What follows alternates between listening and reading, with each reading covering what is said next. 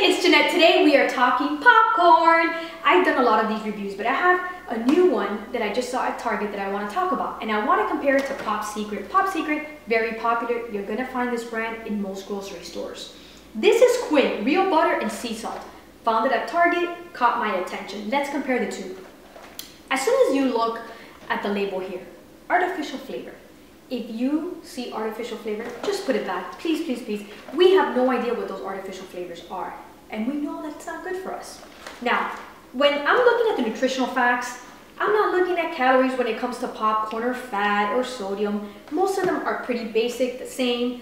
Now, what's important is the ingredients. Once again, artificial flavor. We have no idea what that is. Second ingredient, they're being uh, they're using TBHQ. Let me repeat that, TBHQ as a preservative. It is a very po popular preservative that is being used in our foods nowadays. Here's the problem.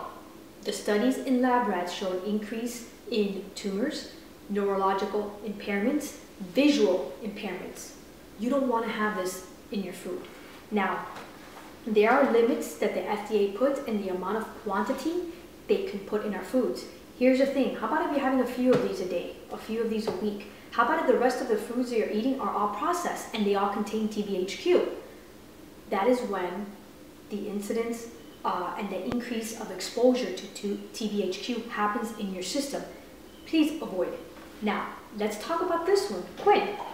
It's all microwavable. When you look at it, minimal ingredients. They're using oil, popcorn kernels, butter powder, which is just cream, salt, and buttermilk. That's it.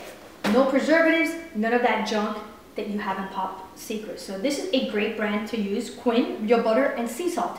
And if, you, if you've been following me, you know I love Boom Chicka Pop. That is my ultimate favorite. You don't even have to microwave it. So I hope that you enjoyed this review. Please feel free to enjoy, to share, and enjoy. Let's, let's, let's just edit that. I'm sorry. Okay. So please, as always, feel free to leave a comment. Tell me what you want me to continue giving you. Oh my God.